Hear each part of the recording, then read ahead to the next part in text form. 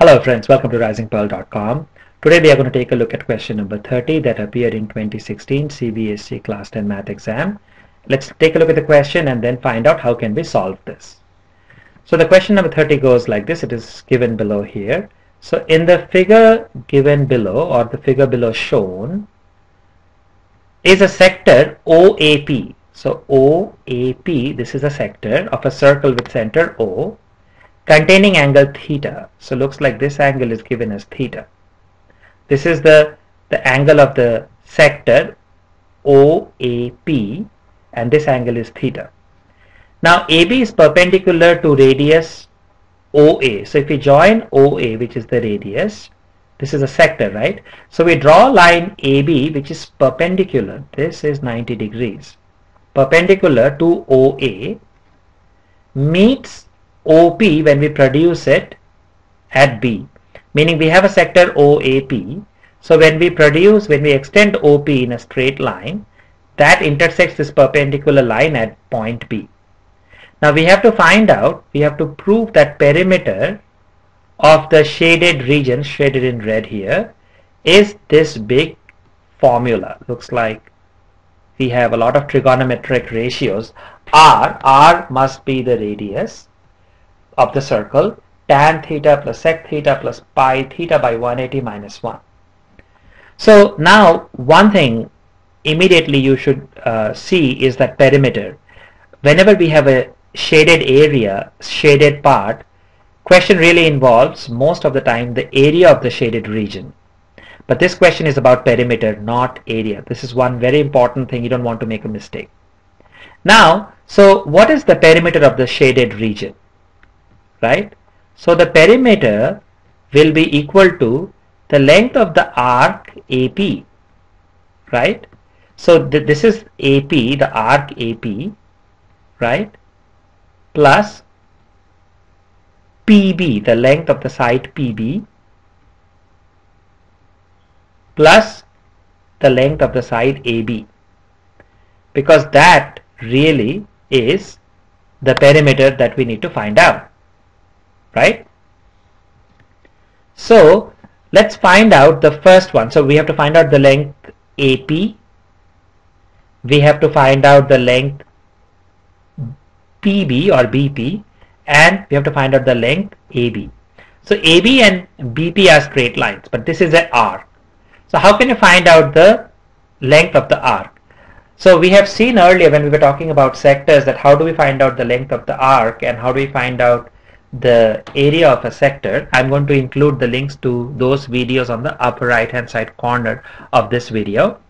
But if you recall so the length of arc AP will be equal to total perimeter is 2 pi r right? So if we divide this by 60 that will give us the arc for 1 degree and if we have theta degrees so we have to multiply that by theta. So 2 pi r the total circumference divided by 360 so in other words if we were to go from here 360 degrees the entire circle then we would have covered 2 pi r which is the circumference. So for 1 degree it will be 2 pi r by 360 and if it is theta degrees it will be multiplied by theta. That will give us the length of the arc. Or in other words the 2 can cancel out so this will be 180 or pi r theta by 180 so this will be the length of the arc AP so we have to find out the perimeter. So the first part is the arc we should say arc AP pi r theta by 180 and if you just glance over looks like we have a term that looks similar right? So sounds like we are in the right direction Let's now find out the other two line, the other two lengths. Now, if this angle is theta and this is 90 degrees and this is the radius, OA is a radius. So what is the relationship between AB and this side? Well, because our triangle ABO is a right triangle because this is 90 degree given. So in a right triangle, we can say tan theta is basically the tan theta will be the side AB right divided by the adjacent side which is OA. So tan theta will be the opposite side divided by the adjacent side. That is tan theta. So let's write it here. So tan theta.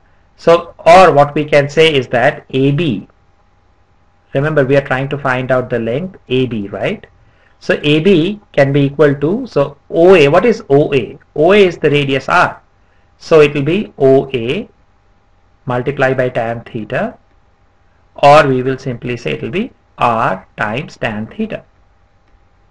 So we have successfully found out AB. The length AB will be r times tan theta, right? Now we have to find out the length BP or PB. So let's find out what is the length PB.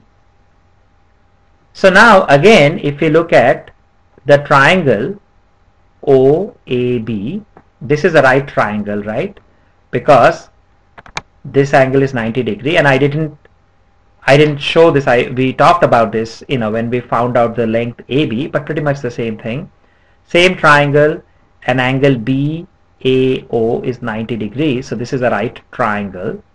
So now the question is we want to find out BP right? So what we know is we know this angle is theta. Now we cannot simply find BP but we can find out this entire length BO right? From there we can find out BP because this is R and this is R. So now if this is R OA and this is the length we want to find out what is the relationship and this is theta so adjacent side and hypotenuse. So what is the relationship? That will be cos theta. If you remember cos theta, cos theta ratio is adjacent side divided by hypotenuse. That is cos theta. Hypotenuse. So adjacent side is OA divided by hypotenuse is OB. So this is cos theta, right? So we want to find out OB so, or in other words, OB will be equal to, so OB will go over here. So, OA is R divided by cos theta. Now, 1 by cos theta, we can write this as 1 by cos theta times R.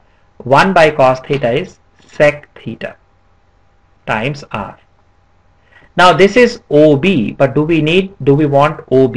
No, we want OB is this entire length, right? But we want BP.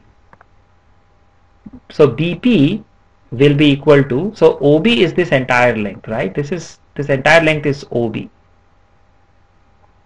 But we only want BP or PB.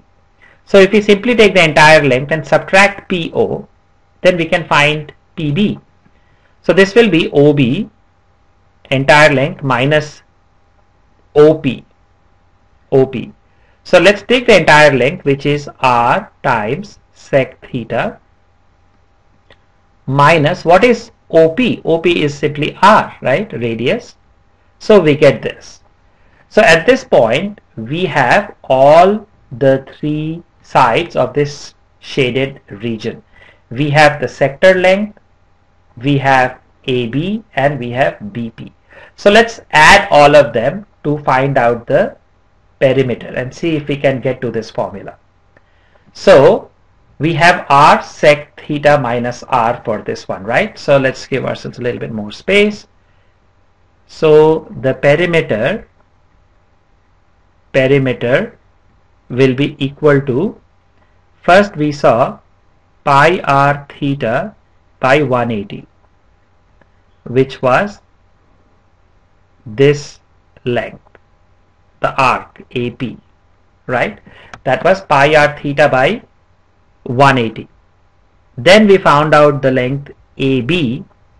This was r times tan theta. So this length AB was r times tan, tan theta. And lastly, we just saw PB was r times sec theta minus r. So if we look closely here, we have a term that contains r, r, r, r. So we can take r common. Then this becomes pi theta by 180, right? Plus this is tan theta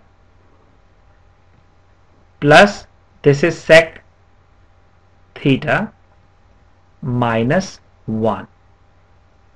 Now is this what we have to prove? Let's take a look. So r times tan theta. So r is common which is the radius. So we have the radius common. Multiply by tan theta. Do we have a tan theta? Yes we do. Tan theta plus sec theta. So we have plus tan theta plus sec theta plus pi theta by 180. Pi theta by 180 we have this term. Minus 1 we have minus 1. So hence we have actually proved that the perimeter of this shaded region is indeed equal to r times pi theta by 180 plus tan theta plus sec theta minus 1. This is how we solve question number 30.